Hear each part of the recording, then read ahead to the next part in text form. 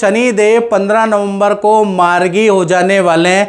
तो इसका प्रभाव वृश्चिक राशि पे क्या पड़ेगा? हालाँकि वृश्चिक राशि पे शनि की ढैया चल रही है और वृश्चिक राशि वैसे तो बड़ी टैलेंटेड राशि होती है, मार्केटिंग वाली राशि होती है, हर कदम सोच समझ के लेती है। लेकिन बहुत बार भाग्य से, लक से आप दो ढाई साल से बड़े परेशान चल रहे हैं। काम बढ़िया नहीं चल पा रहा है, धीमा काम चल रहा है, नुकसान पे नुकसान हो रहा है, रिलेशन में हानि, स्वास्थ्य स्वास्थ्य में हानि, काम में हानि, वृश्चिक राशि वाले दिखाई दे, को दिख रहा है, बल्कि ज़बरदस्त दूरदर्शिता रखने वाले व्यक्ति पढ़े लिखे व्यक्ति, अच्छी सोच पॉजिटिव सोच वाले व्यक्ति, दिलदार व्यक्ति, वृश्चिक राशि वाले होते हैं। उसके बावजूद भी अब धोखा खा रहे हैं। क्यों धोखा खा रहे हैं? तो उसका कारण है, आपके ऊपर शनि की ढैया चल रही थी और दो ढाई साल से आप बड़े परेशान थे, धनहानि हो रही थी, कर्जा बढ़ गया, काम ही नहीं बन रहे तो कहीं ना कहीं अब देखा जाए तो शनि जा रहे हैं। अप्रैल 2025 में शनि देव कुंभ राशि से निकलकर मीन राशि में चले जाएँगे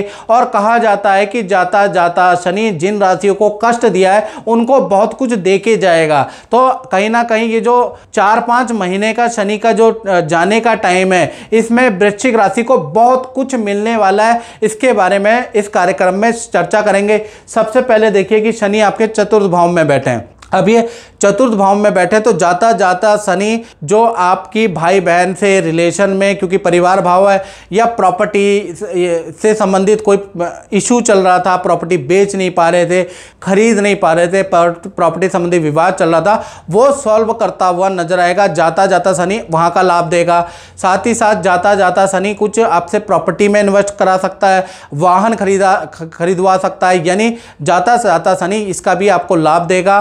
साथ ही साथ शनि की तीन दृष्टियाँ होती है, तीसरी, सातवीं और दसवीं। तीसरी दृष्टि से कहीं ना कहीं आपके छठे भाव को देख रहा है तो कहीं ना कहीं आपके करियर में पद, धन की का, आपका पद का या वृश्चिक राशि को धन का बड़ा लाभ दिलाएगा शनि जाते जाते साथ ही साथ आपको बड़ी जिम्मेवारी मिल सकती है।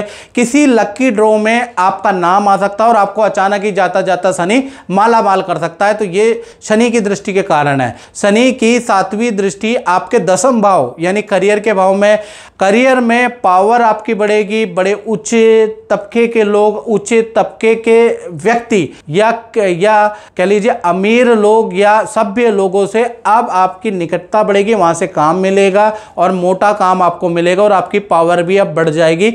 जाता हुआ शनि आपको बहुत अच्छा कार्य का लाभ देके जाएगा। साथ ही साथ देखा जाए, शनि की एक और दृष्टि है, दसवीं दृष्टि आपकी राशि पे ये दृष्टि बहुत अच्छी नहीं है। भाई, आपको काम का लाभ, करियर का लाभ, रुका हुआ धन का लाभ तो मिल रहा है, लेकिन खान पीन पे आपको नियंत्रण रखना पड़ेगा।